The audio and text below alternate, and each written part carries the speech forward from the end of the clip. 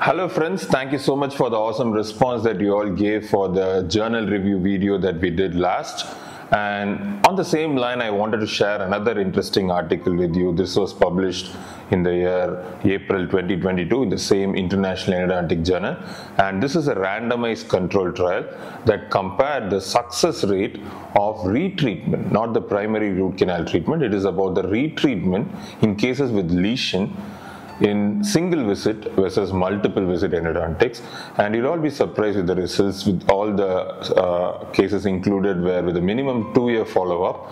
And was found that there is no difference in success rate between single visit versus multiple visit root canal retreatment. Yes, following this, I have been doing a lot of my retreatment cases and all my primary root canal treatment cases also in a single visit.